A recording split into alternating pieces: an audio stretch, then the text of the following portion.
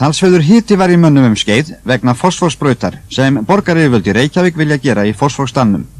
Bæjarstjórn Kópavóks rifti samningi við borgina um fosforsbrautina, taldi forsendur brostnar og let íþróttafélagi í bænum í tíalóð í vegarstæðinu. Viðbröð borgarstjóðans í Reykjavík urðu harkaleg. Ég vek aðtíkla því að borgin myndi haga sér eins, eins og Kópavókur þykist alltaf að gera, en það kennst alltaf ekki með að gera. En þá myndi þeirri borgi hafa heitt vatn eða kallt vatn, rafmagn, slökkvilið, eða reynda að fá að setja ruslið á sorphaugana hjá okkur, ef við myndum haga okkur eins.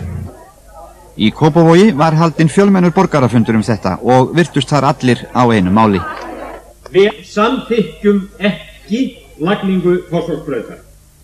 Lyktir málsins örðu þó þær að sami varum að ráðast ekki í varanlegar framkvæmdir í fósforstað meðan leita væri leiða til þess að leysa ágreiningin.